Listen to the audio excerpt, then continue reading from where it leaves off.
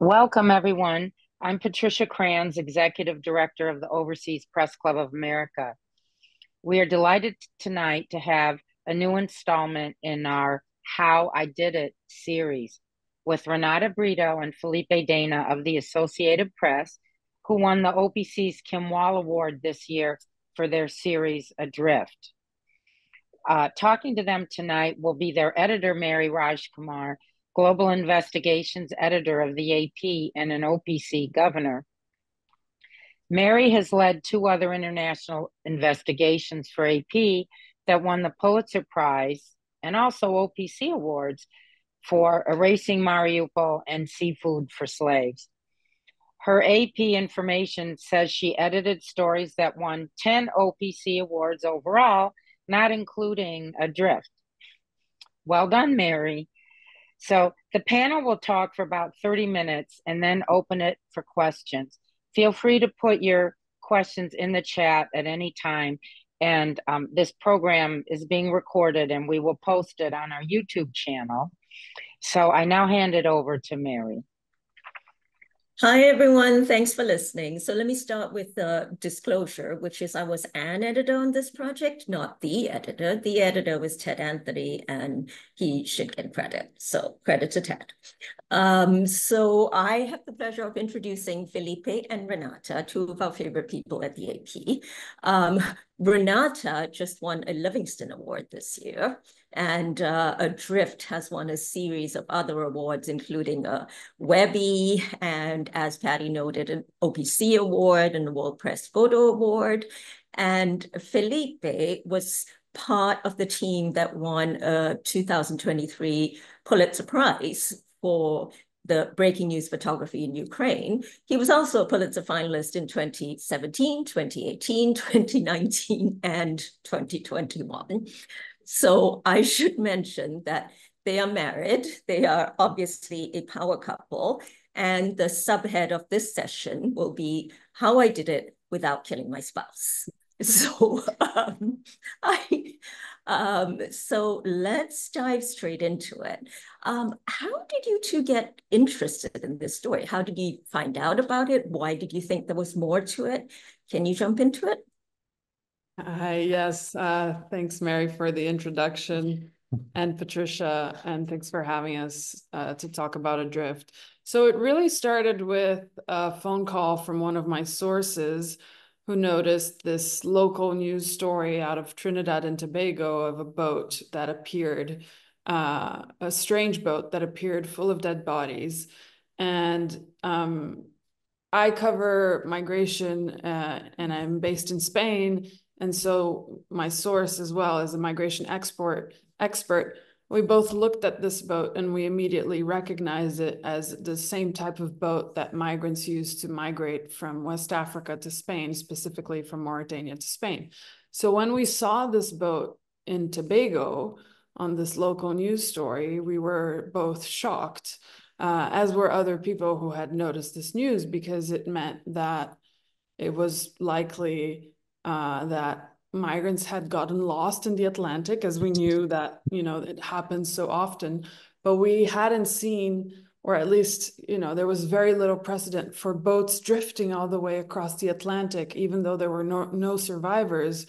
And so it just immediately shocked me and, and it made me uh, wonder if this boat drifted across the Atlantic, how many others are, are lost or sank or are missing. And um, I think it it just rang alarm bells in my head that some, we need to look into this. And Renata, you were saying that a source of yours had previously said, previously predicted, really, that there was going to be more traffic on the more dangerous Atlantic route because of closures on the Mediterranean. So one of the things that I think we really wanted to emphasize in the story, it isn't just a story about this one boat. It's a story of accountability about the EU's policies and what has led to hundreds of people anonymously dying. Can you talk a little bit about that? Right. So obviously, um, the reasons why people migrate and the reasons why certain routes uh, see more traffic is complex, and there's multiple reasons. But one of them was um, heightened surveillance in the Mediterranean uh, that led people to look into alternatives and smugglers to look into alternatives. And this Atlantic uh, route, we call it the Atlantic route from West Africa to the Canary Islands, which is a European Union territory near the west coast of Africa, um, reopened, let's say, uh, in 2020, 2021 specifically. And we saw a huge increase in people taking this much more dangerous uh, sea route to Europe. And one of the reasons was because it was getting so much harder to cross the Mediterranean. Um, and yes, as you noticed, as you pointed out, uh, another source of mine had warned that, you know, um, these heightened surveillance border closures usually lead to people taking more dangerous Find more dangerous routes. Like Just finding another way, basically. To do. So uh, uh, just because I'm a stickler for detail, how did you know that where the bolts came from? Was it their color? Was it their shape? I mean, like what, what how, how do you tell something like that? Yeah, I think we once you cover you know migration, especially in this region, each country has a very specific type of boat that they use, and uh. they're very unique and and colorful in different ways. So it's very easy to identify the ones from Mauritania, for example, as they are white outside and blue inside. Uh, the ones from uh, Senegal, they're more colorful with, uh, you know, very specific uh, as well. And the ones from Morocco, uh, they also have a different shape. So you kind of know uh, if you cover migration in Spain, the arrivals in Spain, especially in the Canary Islands, you kind of can identify where they came from because of the boats being used and and specifically the ones from Mauritania, they're very very typical and unique to the region. So uh, it, it was quite easy. That's how you could tell. Yeah. yeah. So, as I know very well, this was a project full of challenges. So, can you yes. name some of them and tell us how you got past them? I mean, my quick list just in my head is the fact that it spanned several countries and several languages the fact that the bureaucracy involved here was such that no officials had actually tried to do this, the fact that you did this in the middle of the 2021 pandemic. Um, do you guys want to talk a little bit about the challenges? Right. I think um, first, the, the, the biggest challenges was just a lack of information that there is on this migration route in the Atlantic uh, from the west coast of Africa to the Canary Islands. There is very little information.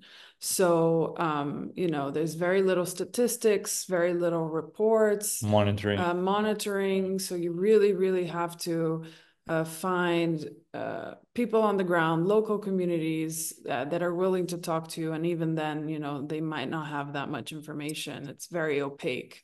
So that was the first challenge. And also, as you noticed, um, the boat was found in Tobago. The people came from Mauritania and Mali. They were trying to get to Spain. That just a lot of very long distances, geography, and um, especially in the beginning when we weren't able to travel there, it was very challenging. And then once we were able to go there, um, we found other challenges on the field. And, yeah. and let Felipe talk yeah. about Mauritania, his favorite place to report. Mauritania, yeah. Well, as Ronaldo just said, it's just difficult just because the amount of countries and, and really continents involved in one story. Um, and Mauritania specifically is a very challenging place to work. Uh, and we really had to investigate a lot in Mauritania, and that was extremely challenging. We had every issue they can imagine to to report on the ground there.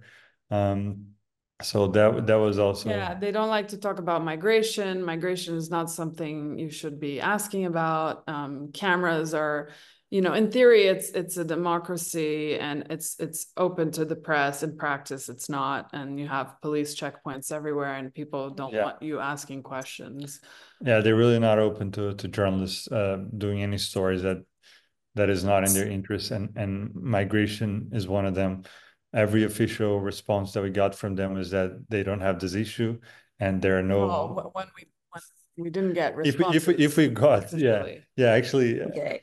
those were those were after we published even for other uh yeah so basically they don't Didn't get- acknowledge any So what. Felipe is diplomatically avoiding saying is that the two of them, wasn't it in Mauritania that you were thrown into police custody? No, that And- was actually in Cape Verde. That was another. Oh, well, there we go. that was the second uh, part of the We story managed to avoid police in Mauritania. We were, we were, you know, well being well, very discreet. well not really avoid barely but we well we made it to escape One- prison in Mauritania but uh, One thing I love about that is that you had very different approaches in terms of what was the best way to get out of prison in Cape Verde. So Yeah. do you want to talk a little bit We weren't that? in prison. We were at the police station, just to be fair. We were asked to follow police officers because we were reporting and trying to talk to survivors and anyways, long story short, uh, we ended up in a police station. Felipe was um very uh agitated in explaining the, you know, rights the, of no the, the, the illegality of the the- what they were doing trying to take our cameras away Yeah. while I was calling uh the ambassadors of our respective countries to see if they could help us and we still argue about which tactic worked best but in the end we were we managed to to be released and, and continue our reporting yeah yeah but that was as Renata said that was in in, uh, the that was in Cape Verde in, in the second part of Adrift yeah uh, in the 36, days. yeah And but uh, uh, during Adrift on the in Mauritania, we, we had challenges with just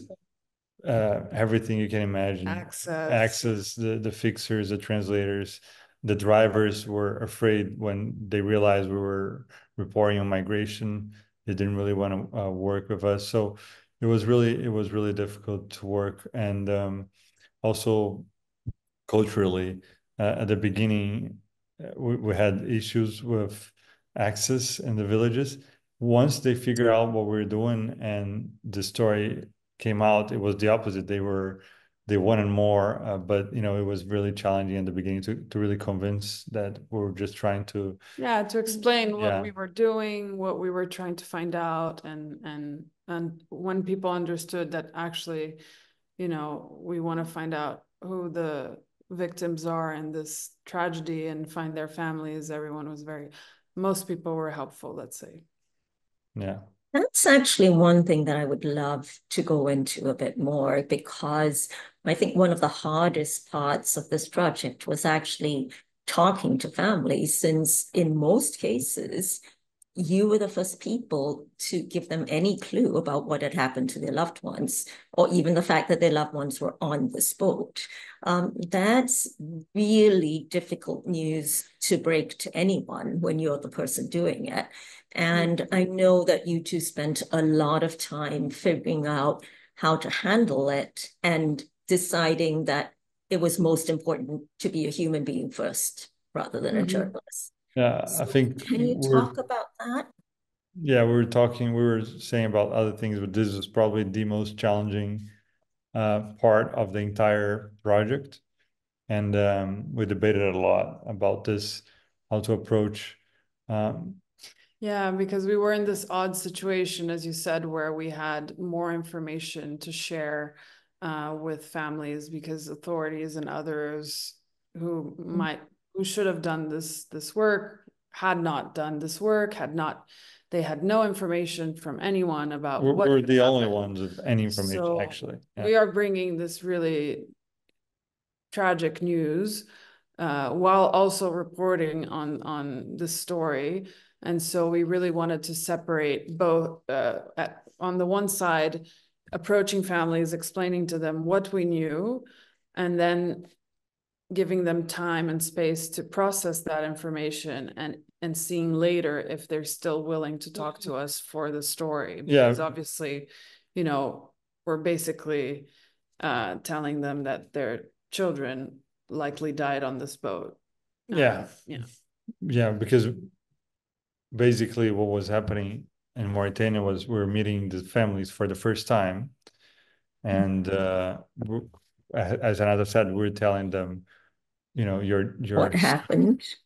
yeah. Well, talk a little bit more. One thing you two have said is because of that, the first time you met the families, you didn't record anything and you didn't report anything, even if it meant missing that first reaction. Can you talk a little bit more? Why did you make that decision? Did you feel like you lost anything by making that decision? Talk a little bit more about that. Uh, I think we just didn't feel comfortable to just arrive uh, and immediately start recording and photographing and reporting um, before uh, giving them a chance to process the information. Uh, and and so that it didn't feel like we were also pressuring them to participate in our reporting because we were we had this news that was so important for them although heartbreaking, it is important news because families want to know what happened, even if it's the death uh, of their loved ones. They'd rather know than not know.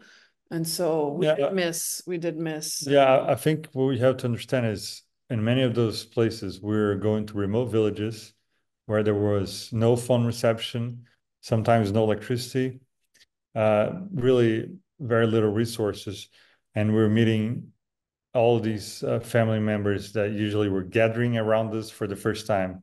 And we realized that it did not feel right to start recording that encounter as they were just at first curious and interested in, in understanding what we were going to tell them about their missing relatives.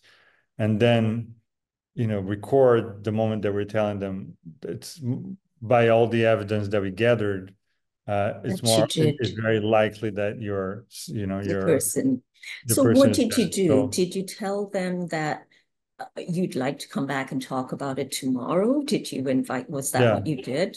we Okay. we both we both discussed this we discussed this a lot and then we agreed that let's separate into That's what parts you would do. we're gonna meet everyone first like every because there are various situations like i just described we we, just, we agreed that we're gonna meet them first we're gonna tell them what we're doing the information And that we have and then whoever agrees to participate you uh, would interview. then we would there. go back Yeah, and, Yeah. and record an Well, yeah. Right, because remember, we're also, um, uh, you know, initially we didn't have all the information, right? We have preliminary evidence that's pointing to, uh, what might you know, have the death, but we're not, we don't have a death certificate, we don't have a, a Yeah. body, we don't have like a hundred percent Yeah, certainty at so that point. it So we also have to be careful about how we deliver this Yeah. news. In one, um, in one case, which I thought was really interesting, in a sense, you missed the first reaction because of how you decided to do it, which was the mothers, right? The mothers crying and the mothers, and you couldn't get that heartbreaking as it was, you couldn't get that on camera. And then when you guys wanted to go back, it was the men who talked to you and who wouldn't let the women talk to you. Can you talk about that? I mean, Yeah, I think, I think, um, uh, when we started, you know, uh, visiting and, and talking to the mothers at first, I imagined that there was a lot of pressure from the mothers on the fathers and the other men to, uh, you know, they were being, uh, sometimes fooled by, by smugglers and others who's, who were trying to dismiss, uh, their concerns and say, no, your, your sons are, are not you know, have not been able to communicate because they're in prison. They're alive, but they're in prison, or they're alive, but they're, you know, uh, trying to deny that they were dead in this voyage. And so I think, um, I think when in some cases we were asked not to talk to the women again, I think it was about the men trying to control uh, the narrative, and also in in some cases potentially trying to protect the mothers from, you know, all the heartbreak that that comes with uh, yeah, the would news. be In other cases, we were welcomed back, and and people wanted to talk to us and wanted to to tell their stories and tell their uh, and then yeah. So yeah, what had happened. So it was Yeah. a You know, I'd love to get a little bit more into the actual investigative techniques that you guys had to use because you really had to use a number of them. In particular, can you talk about the one survivor you got to who told you what it was like on the boats and how you got the DNA? How did you actually trace the victims? Um, so there's a few things there. Um, the, the survivor from another shipwreck of similar but another boat was very important for us to understand what the voyage was like because there were no survivors in the boat that we were investigating, the boat that arrived in Tobago. But this this young man had survived a terrible, terrible voyage that was very similar. And same routes. The same routes, left Mauritania, but was by chance found by Spain but he was only one of three survivors and there were 63 people on his boat. And so he really gave us a sense of what it's like to be adrift and what happens and day by day and how people start dying progressively and how you survive or how you don't survive. So that was really important for us to understand what the people we were trying to identify and tell their stories might have gone through um, so that was one important element. The other um, really crucial element was a list of phone numbers that uh, authorities in Tobago had managed to extract from one of the cell phones recovered from the boat. Um, and for, for various reasons, no one had actually tried calling these numbers and they got to our hands and we decided we should call these numbers and see you know who answers and see if they're looking for anyone that's missing. Yeah these together. Yeah these these these were contact lists so they didn't have the number of the phone but they had uh, basically the contact list. So we, what we did was Renata literally called one by one uh, and started across the information that she could get um, and then so explaining you know yeah. we found your number in a phone on a boat. Do you know anyone that's disappeared? And then all these names names would come up and um, and they would match. And so we we in the end um, kind of had an idea of who the phone belonged to and who had traveled and, and where where they were from. Where they were from. Yeah. and then we and then we went there to talk to the people that we found uh, by calling these numbers and, and really putting the puzzle together. But then, of course, um, nothing is really certain until you actually do a DNA test on one of the the deceased. And that's uh, and that's when we got uh, to Tobago, which that's so all of this was still before we got to Tobago. When we got to Tobago, we were very lucky that the a police officer had still kept the evidence that they found in the boat. Um, some by some miracle, it was still there. So we were we basically opened every single evidence bag that was closed for six almost six months at that time, and we photographed every item. Um, you know, um, yeah, basically clothing. Yeah, clothing, basically cat, uh, clothing and phones and chargers cataloging basically every item. And then we shared that evidence uh, with the families to see if they could recognize some of those items. And that is how we initially uh, found a, a, a shirt. A few, a few well, shirts, a few shirts actually, yeah. But we could we could cross reference. So then we yeah. you know so then we said okay so if this shirt belongs to this person and was found on this body this body is likely to be yeah. of that person but only a dna test can really confirm that. And so um, you know it's not something journalists usually do dna tests. And i remember uh, when when when an editor marjorie uh, suggested we do it i thought she was you know what is she talking about? But she was so right because that was really uh, essential to having the certainty and and bringing closure to at least one family. Um, yeah, but basically yeah. at this point, we already had a list of possible uh, people that board the boats, and by matching at least one DNA, we were sure that that list, like that, the people in our list were in fact the ones in the boat. So it was more than just one person. It was right. really a confirmation confirming of confirming the group. Yeah, yeah, the group could that boat basically belong to that group and um, so it was a lot of a lot of pieces from from different uh mm. yeah different areas just yeah. to clarify, so no authorities had done a DNA test before because they didn't know who to match the DNA to, right? Yeah. Well, so, it, it's it's a bit more complicated than that because if you think about it, you have families scattered between Mali, Senegal, France, um, and you need like uh, parents. You need like father, mother. It's not it's not as simple as just you know anyone that's related to the person. Uh, and then you have to compare compare it with the DNA test of the body. And so the type all of this test is very also has to be the same. Yeah. Type of test. all this is very bureaucratic and and difficult to get. It's not. There's you know in Mali, it's it's not everyone that has access to a lab. It's expensive.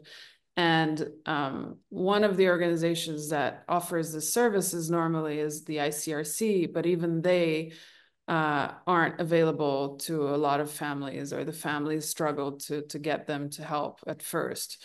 So then we did that we did it through a private lab, but everything had to align for it to happen. Like this mother who was originally from Mali happened to be in Senegal where there was a lab that we could, you know, hire and that could send a sample to Tobago. It took like months for it to get there and chain of custody and all these things. Uh, and another few months for the authorities in Tobago to compare the DNA and and you know say whether it mm-hmm. was a match or not. So really, really not as simple as it sounds. But and until today, that remains the only uh, one that was that was buried and yeah uh, and identified. Oh, so the others still have not been identified, didn't? There, didn't Despite isn't that in process? The ICRC, after our investigation, did uh, take more samples from families on our list and sent it to authorities in Tobago. Um, and there were matches. Uh, so six, I think six more bodies were identified. Oh. For some reason, they were not officially buried or identified. Um, families weren't given a death certificate. Um, and mm -hmm. again, comes down to bureaucracy, to uh, you know very uh, bureaucratic procedures, cross borders. It's not as simple as it sounds. Talk a little bit about your source in France, Meso. Um, how did you find her and how did she end up being related to the boat? Um, it was so Meso was an aunt who was looking for her nephew and had posted um, on a social media page for missing migrants. And I, I found her through this social media page and this activist. Um, and she was one of the first uh, families that I interviewed in the sense of people looking for their loved ones in this migration route. I didn't know at the time that her nephew would it would turn out that her nephew, the nephew she was looking for, was on the boat that I was investigating. But I didn't know that uh, initially when I first reached out to her, neither did she. Um, and by coincidence, um, we later figure out that her nephew had been traveling with the group from Mauritania, her nephew from Mali had joined the group from Mauritania and had boarded the same boat and he they were the ones that uh, we we managed to send a DNA sample of his mother uh, to the authorities in Tobago, and he was the one that we managed to identify and bury. Um, so she was super important, super helpful throughout the entire investigation. Um, very uh, cooperative, very eager to find out what had happened to her nephew, and and extremely helpful. And I'm very thankful for her. Um, uh, agreeing to take part in this story. Um, and yeah. Yeah, and especially at, at, the beginning, as as we said, we were not sure of many things, and and a lot of people were skeptical. After, especially after the first DNA tests, everything everything changed. People realized. Mm-hmm. I think mm-hmm. also many didn't want to accept. They wanted to know. Yeah. You know, it, it's one thing to want yeah. to know. The thing is to accept.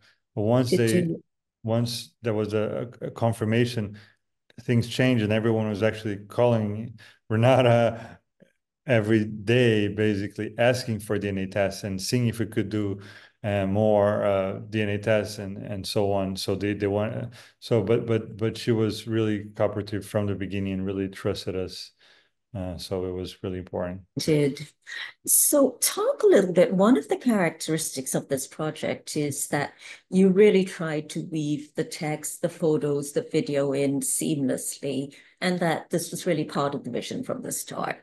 Um, how did it change your approach? And um, a nod here to our digital storytelling team at the time, Raghu Vadarevu and uh, Nat Castaneda and uh, Linda Gorman, who were immensely helpful in working to achieve this mission.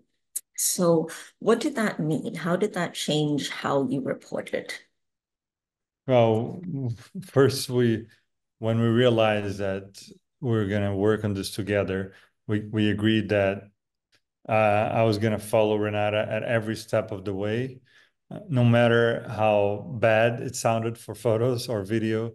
Um, we are really going to focus on trying to gather as much visual material as possible because you know now it's it's easy to look at the story when it's done but if you think about the initial initial uh, pitch of a story like this it's really it's, it's a really difficult story to illustrate because there are no survivors there's no one left at this stage. We didn't know if we are going to find any family members or anything at all to show. So it was it was extremely challenging and i spoke to uh, my photo writer at the time which was enrique marti and and we kind of agreed that i'm just going to stick with renata all the way follow whatever she's she's uh, she's going to try to find and if nothing else, we illustrate in a very poetic way. So I had some ideas to shoot abandoned boats along the way. I even did that. To, uh, I started doing that in Mauritania. But then as we uh, started to to get more evidence and and be able to follow the route that they were basically follow retrace retrace it. yeah retrace, retrace we, we, okay. we just began to um, record and, and, and, and photograph every step of the way. And what we didn't know, but it, the photos really became part of the investigation and an essential part mm -hmm. of the mm-hmm. investigation. Right, so it, photos of the evidence yeah. also and, and video. So the photos became an investigative technique in and of themselves because yeah. that's what you showed people. Yeah. So it wasn't just an illustration, it was really part exactly. of the It, it really became became a visual investigation. Um, yeah, and, yeah, and, and, also, you know, I think when we when we said we sent back um, photos of the evidence to the families, we did that, but we also analyzed photos of the disappeared and found clothing on some of those photos. So we identified that they were wearing the same clothes actually in, in one of the uh, some of the photos that, that the families had shared with us they were wearing the same clothes that we found in tobago so uh, in some cases we didn't even need the families to recognize it because it was there on the photo uh, that they had shared with yeah. us yeah then and then of course as you said when we realized that well, from the beginning we were already talking to Raghu and others in the digital team because we we wanted this to be a really a yeah immersive. immersive storytelling and and it's it's very challenging to to do nice visual presentations for investigations where you don't know what you're going to get in terms of photos or video or anything.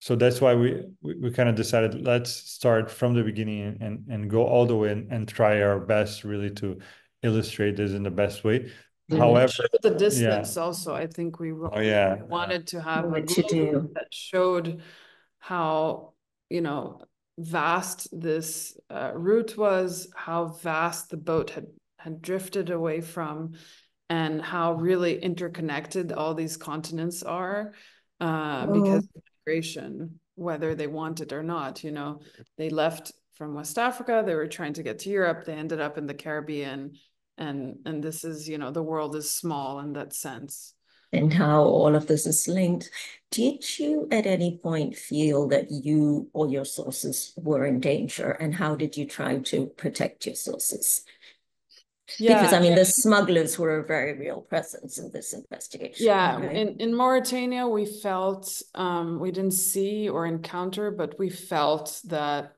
the smugglers were kind of coming behind us, after us, and telling the families that what we were saying wasn't true, that everyone was alive, they were just in prison in Morocco because they had been intercepted by police. And and then, you know, some people that um, helped us, even though we asked them not to go to authorities because we knew that in Mauritania, uh, authorities are sometimes uh, working with smugglers or getting bribed by smugglers. And, you know, um, when people did go to the local authorities to ask for help or ask for information, they were threatened.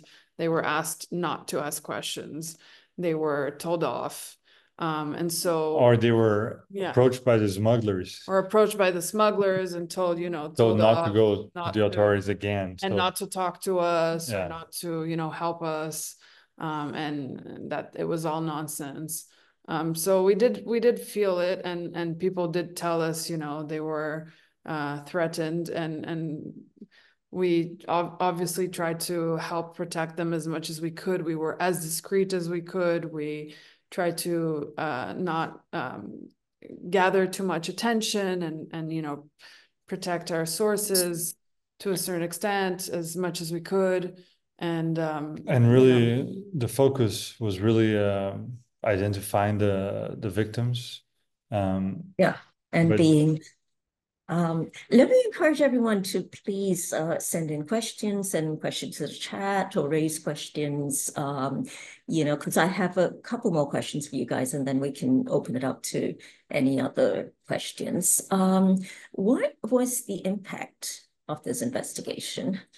Um, when it was all, you know, when it was all done. I mean, I think there are, you know, I, I think probably the most immediate impact was on the families, but also how did it change how this is investigated? Is has there been further investigation into this and other cases? Can you talk a little bit about that?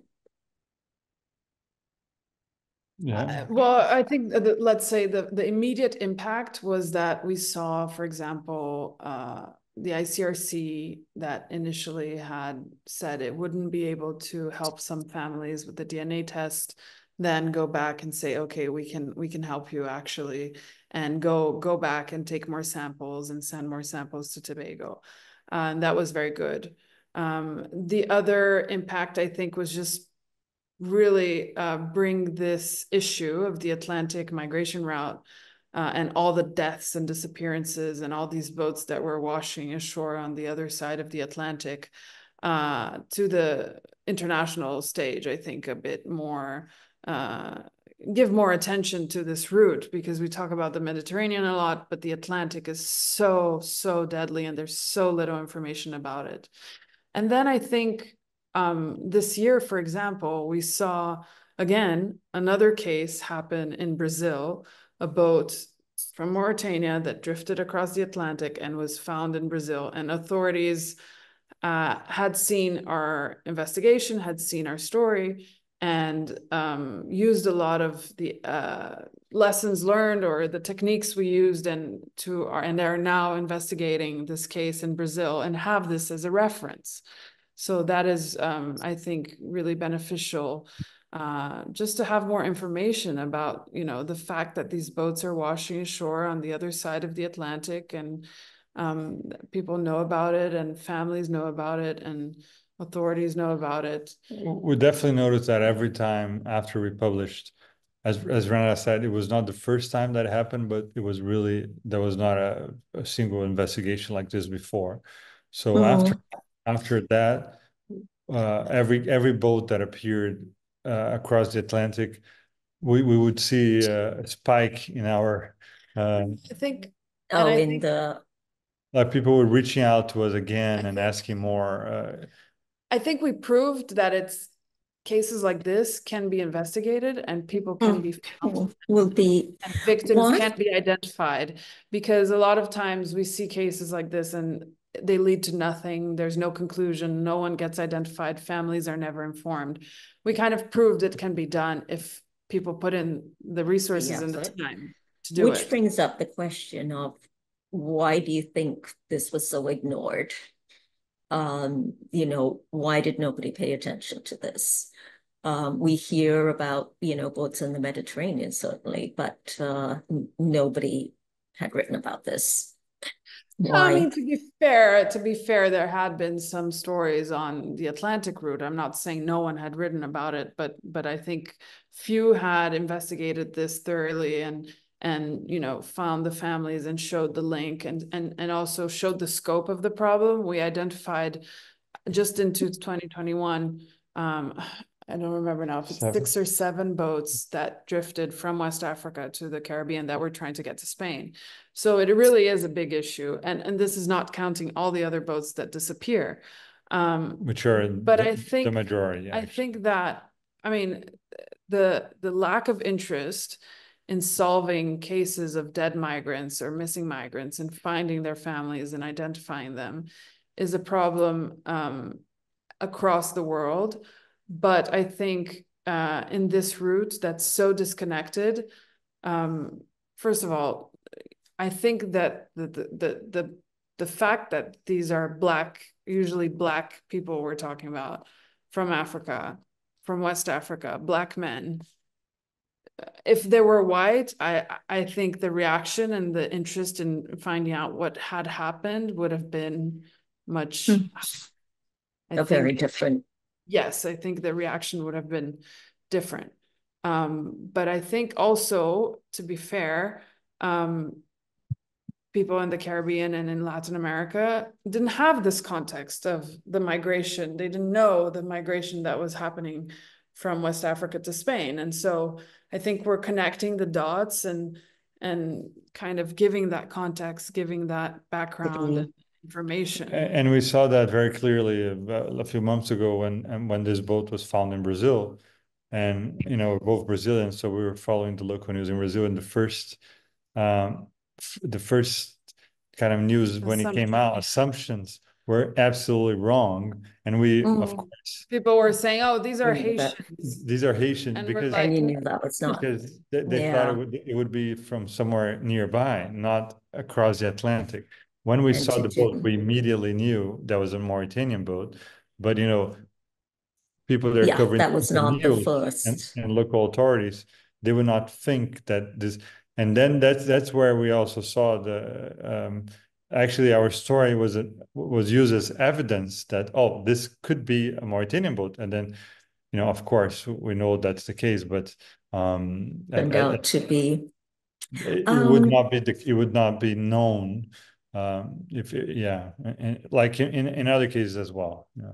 So I'm guessing at the start of this investigation, you had no idea how hard it would be and no idea that it would take two years. Is that right? And were there points when you just wanted to give up altogether? For sure. I mean, I, I think I've said this already. In the beginning, I thought I was just going to report on what police find, found out. I was just waiting for authorities to, you know, mm figure out what had happened and I would report on whatever conclusion they they reached. And then we realized that they weren't moving forward, that the investigation had stalled, that you know it was good just gonna end there and and we decided and other organizations that might could have helped or might have done more weren't also doing anything or not enough. So we decided to to take it on ourselves and um, we didn't realize we would get as far as we we did. There were also things that happened throughout our reporting, both related and unrelated to the story. For example, there was the war in Ukraine um, that we had to, you know, pause and report on that as well. And so it took much longer than I uh, we had anticipated, but I think in the end, um, the time also helped us get yeah, to the bottom of it. A lot of the steps, like the DNA test that we spoke earlier, those are steps that were very important, were very important, but they took months and and many months that we had to wait for something that we couldn't do much in between. So it was very difficult to uh yeah. And there there are moments yeah. where you progress very rapidly in the investigation and moments where it stalls again and you think you're never going to get the story or that you know uh, your sources disappear or go quiet and then you kind of want to give up and then they come back and then there's more information and all of a sudden this, it speeds up again and you you pick up the pace Mm, and get more information but it's really a roller coaster of of reporting of emotions of findings of you know everything. Um so yeah it was really uh Yeah. Well, to get back, to get back to the question I um brought up at the beginning on how I did this without killing my spouse, were there times where you disagreed and who's, who was the good cop here and uh how did that work? No, those, I'm the good cop he's the I, bad I, I'm the good cop. I'm the, So you're both the good cop, okay? no um no, yeah, there were, it was, I mean, there, of course, we disagreed on many times, but, but I think we have um, very complementary skills. And we use that along the way to make this happen. Uh, but it was, it was, you know, difficult, especially as we said many times already in Mauritania. There were times that we had to decide uh, one of us go, the other one sits in the car, and you know, Mm. I'll hide the cameras and pretend I'm uh, uh, gonna go buy Tourist, yeah. fish, no, like a fish buyer. To, to to enter places where I was not allowed to as a journalist, so it was uh, yeah, and it was challenging, you know, to make those decisions. Um, No, or or how to appro- approach certain authorities, you know, I Yeah. have one way of approaching, he has another way of approaching them. yeah, yeah, Um, I think that's, you know, where we kind of disagree, but in general, I think we also really helped each other through these two years because it was really challenging. It was challenging just in terms of the reporting, in terms of, you know, emotionally speaking, uh, carrying a story like that for two years is is really uh, difficult, and especially when you don't know how it's going to turn out, and um, Yeah. because of all the implications, you know, the families and and the answers they're seeking and the answers you're seeking. So I think in the end, it it worked out um, that we actually, you know, yeah. I think it would be even more a 24 challenging. hour- Twenty-four hours, seven days a week, uh, investigation, so. Yeah, it would be even more We were challenging. understanding. Yeah, I think so. Yeah. Okay, well, let me, um, I know the session is being recorded, but if there is anyone live who would like to ask questions or put anything in the chat, uh, it- let me just open it up for a minute. Okay, it doesn't look like anyone is, uh, is sending in questions. They, they might as people watch the recording, but I'll leave you two to deal with that. So, well, let's tie it up there. Thank you both so much. Oh, well, we do have a question. Uh, did the AP empower you to make those kinds of decisions in the course of the reporting? For example, to at times present yourself not as a journalist. Uh, no, We never, we never didn't. You never did that, Oh, yeah. Yeah, Yeah, we never did that. We always presented ourselves as a a journalist. What I meant to say before when we approached it in two parts is that we didn't uh, uh, go on the record immediately in the sense of this is not an interview. We're Yeah. talking to you, we're journalists, this is what we found, but you're don't feel like you have to be part of the story or this is an interview. Um, we'll come back another day to have that discussion. yeah. To But have we it actually explain. recorded. Yeah, and I think, you know, I think what I was saying was more in Mauritania, there were places that they didn't want us to enter. And then I, d- Mm. I didn't go with the cameras. And I didn't, in, in those places, I Oh, didn't maybe the present. fish Yeah. The fish buyer. when you were Trying to get it. Yeah, reports. th- that was, that was, Discreetly, not, not that was a different situation. It was not that I was not presenting myself as a journalist. It was just that they don't allow, um, Yeah, they basically don't allow journalists cameras. because, because of a different problem. There is a, a lot of illegal fishing in Mauritania. So Mm, okay, highly that makes sense. But I wanted to go into the port to, you know, just because that's where they left. So Okay. I, I entered several times, uh, not as a journalist, but that was not the case of, um, it was more of a, I, I, I really felt like we needed to go in. Uh, and, uh, that was the way our fixer uh, managed to get us. But, but Into- that was- but that, but like every time, as Renata said, every time we were Yeah, talking if to we're people. asked, Right, you would identify asked- yourselves as Or, journalists. or when we were caught, every time we Yeah, presented. you would say. Um, Um, another question, how much time did you spend reporting in Mauritania and in the Caribbean? Mauritania was three weeks. One month in One Mauritania, month, one pretty month in much, Mauritania. Because it's such a huge country. Because we travel across the entire country, basically. Yeah, we Um, went from Nouadhibou, which is the north uh west, all the way to the southeast uh on the border with Mali. and Then a couple of weeks in So Spain, that- of course, in yeah. France and, and Tobago, and And Trinidad and Tobago, I think it was like ten days Yeah. in Trinidad and Tobago. Two weeks, yeah, Ten around. that. days, two weeks, yeah. Um, And- next, next question. What role did your fixer or fixers have in your investigation? Um, in in Mauritania is where we had a fixer. We had a, we only use a fixer in Mauritania. Uh, and, and usually I, I can say that I work a lot with fixers because I work, you know, in many different countries where you need to work with fixers and I, I have, some of them became very, very close friends. And some of my best friends I met as, a- as fixers, but in Mauritania it was a traumatic experience. They weren't as he- helpful as as we had hoped uh them they would be. Yeah. It was more about logistics and Yeah. and um driving around and and getting places rather than the investigation. rather than itself. journalistic, Yeah. like they were not, They were not. they're not the yeah. kind of a fixers that It was more logistics. yeah, they were not basically used to working with journalists, so it was more about, Didn't you require them for the language? I mean, it- yeah, Yes and no, but, because yeah. yeah, That, Mm. they were, that's what we're saying. there's a lot of different languages that. And the experience that we had in Mauritania was so bad with the fixer that we. Yeah, one up- driver abandoned us in the middle of the report. Yeah, so we ended up, he didn't work on We- anything that had to do with migration.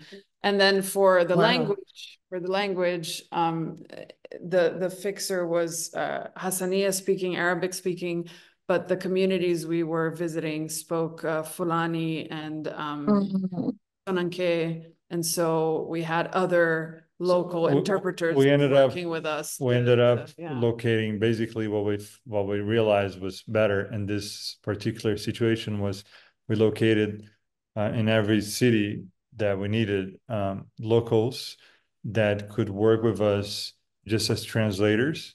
Um, because, you know, from French to whatever was the, the local uh, language. And they were, so that was much better than the fixer. But that was a very specific case in Mauritania because as I said, this is not usually the case with fixers. Um, Yeah. Yeah, that we usually rely on them. Usually, immensely. yeah, Usually usually, they're, they play a much more important role yeah, than. this specific case was, was very difficult. yeah. too. Um, okay, well, it looks like we don't have any more questions on the chat. So why don't we wrap it up here? Thank you both very much for joining us. And thank you both also for the amazing amount of persistence that you put into this investigation. I mean, uh, some of the methods you used were really difficult and took a lot of creativity. So a huge thank you for that. Um, and thank you all for being here. Okay, bye all. Thank you, you. Mary. Bye, Thank you. bye. Bye-bye.